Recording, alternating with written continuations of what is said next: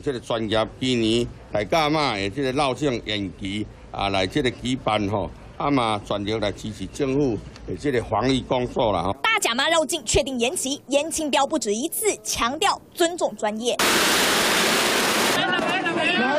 百年宗教盛事第一次改期，似乎因为压在心头的重担总算卸下。被问到那绕境延期，有寡不会问妈祖吗？甲拜拜甲讲啦，哦，啊，这个也要叫我们跋杯，那个也要跋杯，那个跋了要去安怎？对唔哦，所以讲啊，啊有有有上香甲禀报啊，好不？讲完自己也笑了。可是大甲妈绕境早已不是宗教盛事而已。这怎么办？镇南宫旁商机庞大，横跨好几个产业，都推出跟大甲妈合作的联名商品。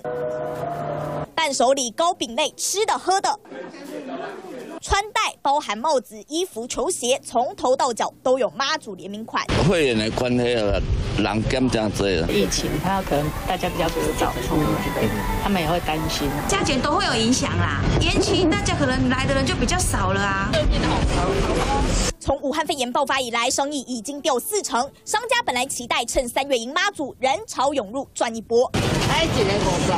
小摊商只能自我安慰，疫情当前，共体时间。但扩大层面来看，往年大甲妈绕境横跨四个县市，一百多间庙宇，来回一共三百三十多公里，狂吸两百万人潮，创造至少三十亿商机。